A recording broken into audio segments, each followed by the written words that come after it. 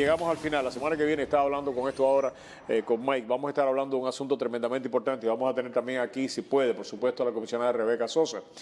Eh, el contrato que tenemos con la FPL expira el año que viene con la FPL, expira con el año que viene y tiene que ir a un referéndum. Vamos a hablar de eso porque yo creo que es uno de los temas más importantes que hay que hablar en esta campaña y que no se ha hablado. Gracias, Mike. Muchas gracias al doctor eh, Jorge Martínez que nos ha mantenido al tanto. Primero que nadie, él es el que ha estado siguiendo este tema y nos ha ayudado a nosotros, pero sobre todo a ustedes a entenderlo. Muchas gracias, eh, por el tiempo, doctor.